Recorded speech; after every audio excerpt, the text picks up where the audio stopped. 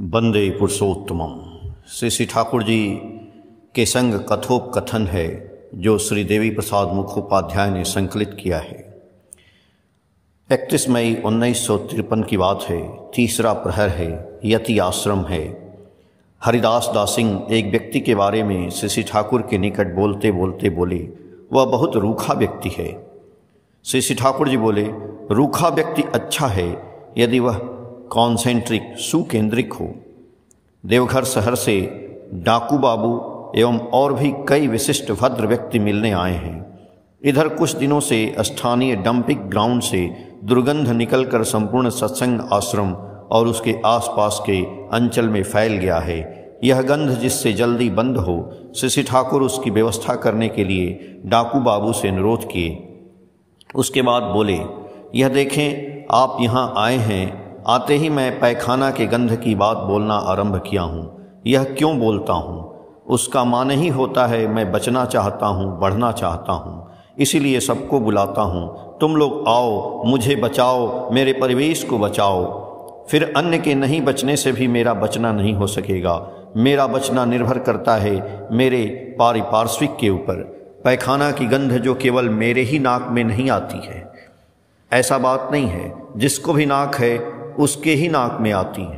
प्रत्येक ही इसके लिए सफ़र कर रहा है। जैसे मुझे यदि बड़ा व्यक्ति होना है तो मेरे पास परिवेश रूपी रुपया रहना चाहिए। परिवेश का जो प्रयोजन है, उस प्रयोजन को सर्व सेवा कर मैं लाभवान होता हूँ। सेवा के विनिमय से जो आता है, वही होता है मेरी प्राप्ति। इसलिए सब कोई ही परिवेश के ऊपर निर्भर करता है। जो भी बड़ा हुआ है, ऐसा करके ही बड़ा हुआ है। यही हुआ बचने की बात। और बढ़ने के लिए चाहिए परम पिता की दया। समुद्र में जाकर जहाज़ जब दिशाहारा हो जाता है तो उसका पथ आकाश का ध्रुव तारा ठीक करता है। उसी प्रकार ईश्वर को हमें अपने जीवन का ध्रुव तारा बनाकर रखना होगा, तब फिर पथ की भूल नहीं होती है।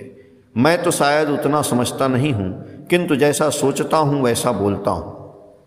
और सत्संग का अर्थ भी वही होता है सत्य माने बचना बढ़ना। बचने बढ़ने का संग ही सत्संग है। बचना चाहता है, बढ़ना चाहता है, एक कीड़ा भी, एक बदमाश भी। किंतु मनुष्य साधारणतः विपरीत पर, पथ पर ही जाता है। वह पथ पहचानता नहीं है, बूझता नहीं है, समझता नहीं है कि उस पथ पर जाने से काम नहीं होगा। जैसे एक व्यक्ति का पॉकेट मारकर दूसरा व्यक्ति कुछ पैसा लिया जीविका के लिए मनुष्य जो उपार्जन करता है, उसमें से इस तरह से लेना माने उसकी सत्ता पर हस्तक्षेप करना। इसमें से जो इस भाव से लेता है, वही फांकी में पड़ता है, लेकिन वह अभी नहीं समझ सकोगे, समझोगे परिवर्ती जीवन में। इसके बाद ये भद्र व्यक्तिगण विदा लिए शिशि ठाकुर बात करते करते घिरे हुए खुले जगह पर आकर बैठे। श्री ठाकुर जी बोले, जो कुछ ही क्यों नहीं करो देश में, यदि कॉमन आइडियल समान आदर्श नहीं रहे तो कुछ होना कठिन है। इंडिया भारतवर्ष दरिद्र है। देखा जाए कि इंडिया भारतवर्ष को बड़ा किया जा सकता है कि नहीं। मुझे बुद्धि तुद्धि नहीं है। लिखना, पढ़ना भी नहीं जानता हूँ। फिर भी तुम लोगों को जो दे गया, वह किंतु फ़र्स्ट हैंड नॉलेज प्रत्यक्ष ज्ञान है। और एक बात है, वर्णाश्रम यदि ठीक रहे तब अभी भी वापस लौटने की संभावना है। यह आधार टूट जाने पर तब जाति भी चली जाएगी। सातवती नवंबर 2014 पेज संख्या 12 और 13 से जय गुरु।